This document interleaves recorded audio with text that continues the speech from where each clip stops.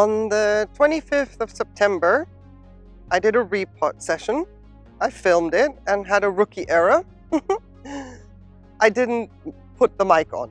So a silent movie ensued.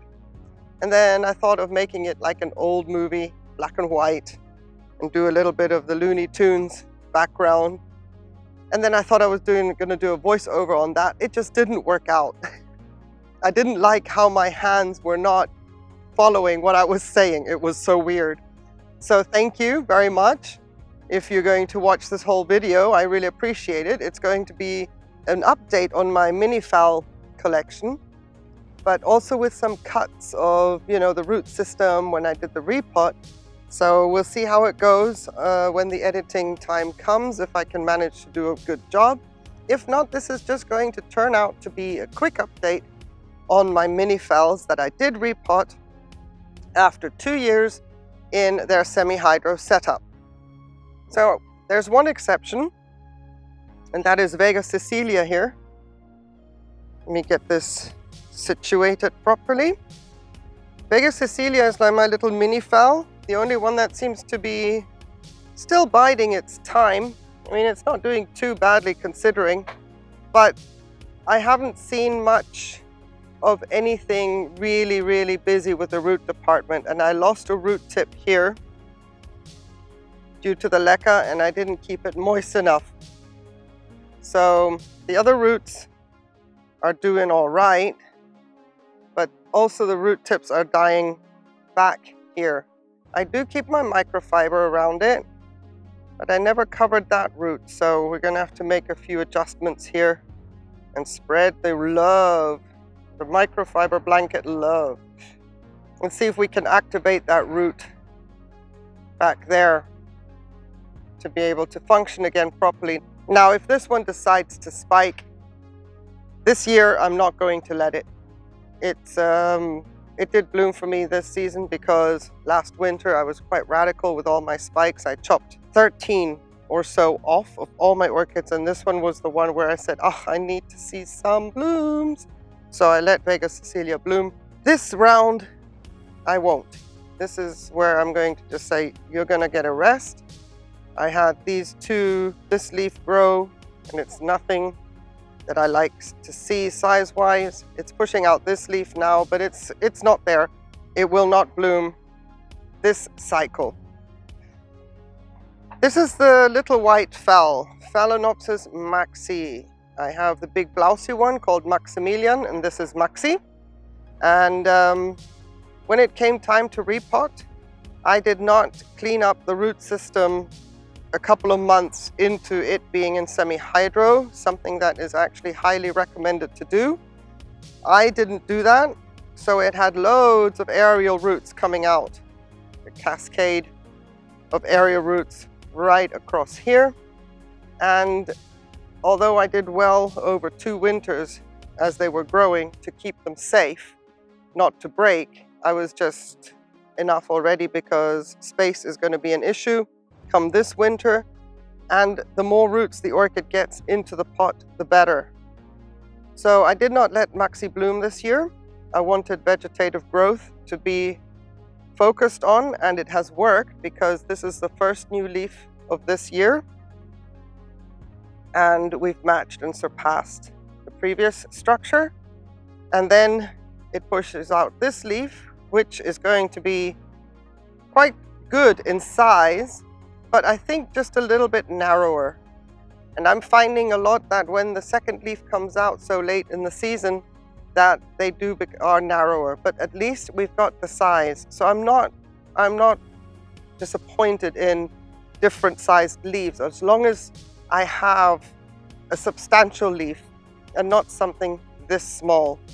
I also had um, to clean up quite a bit in the root department, two years without a cleanup. You know, that's not an issue if an orchid is set in semi-hydro, but these, this one was being transitioned and it's always good practice to go in after a couple of months to have a look what has died off clean out the root system that has died off, and then butter back up. I didn't do that. I didn't have the confidence to do that. As long as the orchid wasn't looking too bad, I just left her and I was happy for it. And uh, this time around, I did clean up the root system, including all the kinks where the black was. I took those away because the root system wasn't bad at all. And I did pot up all the aerial roots, tidied it up and managed to get her into a bigger pot. No roots were harmed or broken. And I think we're going to be okay with letting Maxi bloom this cycle. And I have another little root growing there, which is awesome. Mine hasn't even started spiking yet, and I'm okay with that. The longer it takes to spike, the more I can rely on the leaf here developing to a certain maturity. I'm quite used to my phals spiking very late in the year. I have one that's already showing a spike, and I have another one, uh, my Schilleriana, only just now showing her nubbin. I'm late with when it comes to my phals spiking. So I'm not concerned about what's going on in any of the pots. This is Phalaenopsis Hot Kiss, my first big-lipped phal.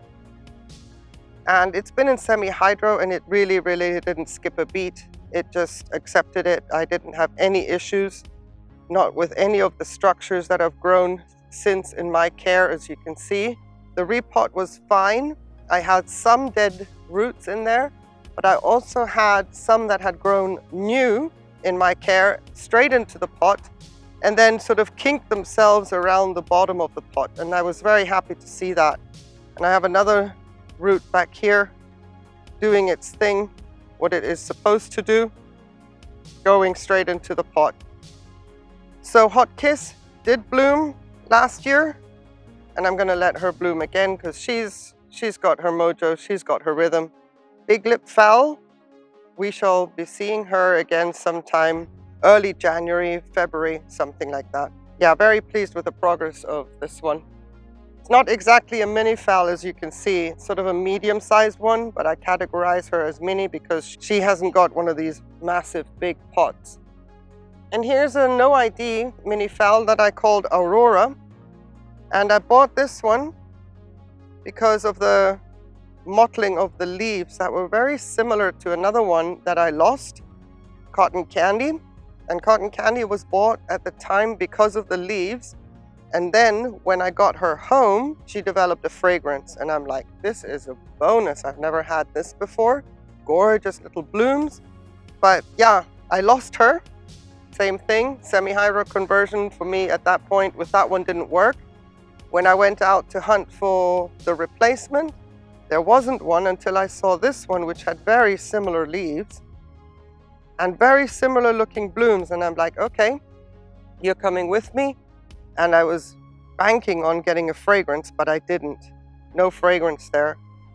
So I didn't let Aurora bloom this past cycle either because you can see that the leaf was mediocre at best. And I just didn't feel comfortable with letting her bloom.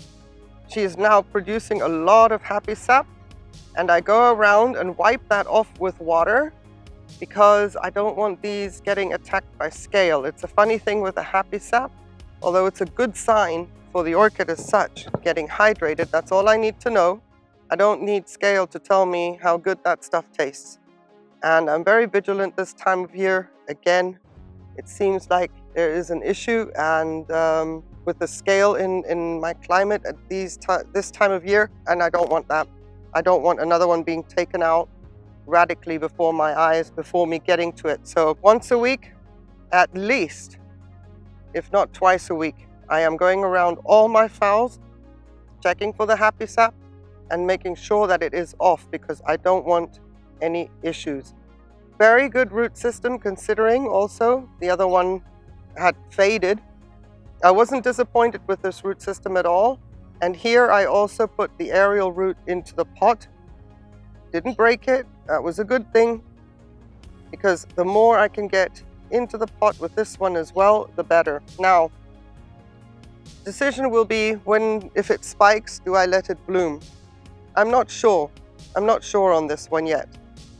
It's not uh, something I've decided on. I'll have to see how the others do, if I'm satisfied with the others. I mean, basically, you can see it's got its mojo. It hasn't worried about, I am not worried about what's going in the pot now. It can just grow and thrive. And I might just need to let it grow and thrive for one more year. I don't know. I haven't made up my mind on this one yet at all. We shall see. But at least these are really, really good now. They're looking healthy.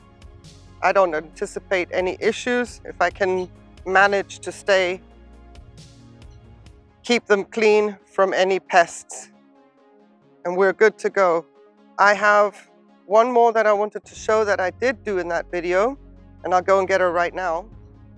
And look who's joined us. Cousin It.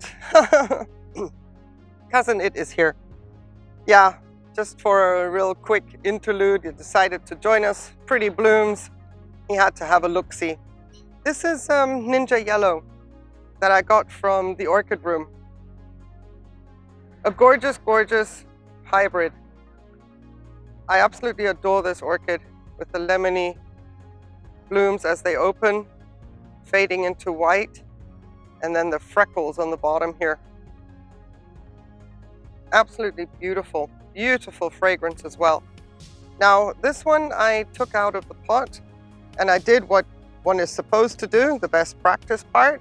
I cleaned up the roots that had not made it through the transport transition and some of the cracks that were in the roots themselves. There wasn't that much to clean up because this orchid is accustomed to semi-hydro self-watering setup. And um, I just took off what was probably going to be an issue in another two or three months and then put her back in the same pot, same leca. But what I'm going to do now is cut off her spike. I know, shock horror, ouch. But uh, as she is new to my collection, I'm getting one new root starting over there. I'm going to have to be careful with the jiggling of the leca. And there's another one coming out in the corner over there. So here I have another spike coming and another root. What I'm going to do now is take off the spike that is currently blooming because it's too much energy being exuded. And what I'm going to do with the decision of whether letting that spike bloom or not will depend on these two roots. I don't want to have this orchid exude too much energy on anything. I have to also be careful. Just one second. I also have to be careful with how much I jiggle this orchid right by that root tip. And I'm being super careful not to get to the stem. This is not the time of year to be messing around with the base of the stem of a monopodial. And I may just remove that leca bead at this point in time to let that root go down without any obstruction. You see, I have dry top layer. I work with it, sometimes successfully, sometimes not so much. But where I can, I try to make sure that all the roots get a fair chance to get down into the leca. And then if I have to create a hollow, so be it. And I'll protect that area with some sphagnum moss as well. Once that root is longer, I can fill up with more leca around the top. There we go.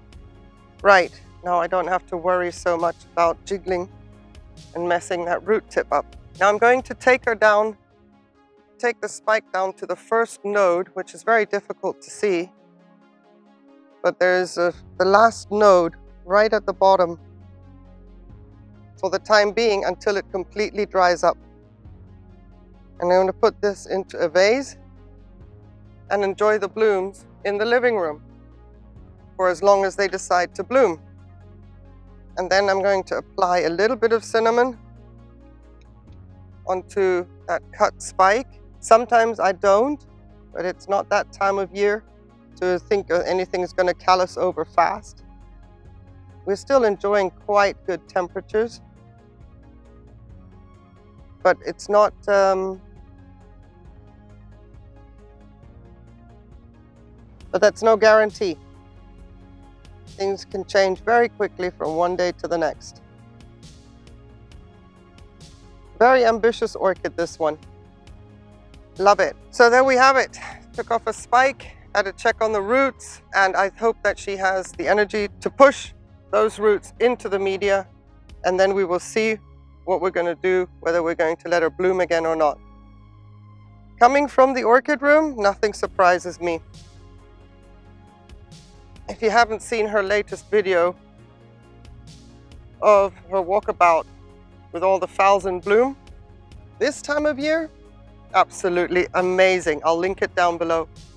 By the way, yes, one more thing. Thank you. Cousin, it reminded me. One more thing. Thank you, I appreciate it. Very good. Public service announcement.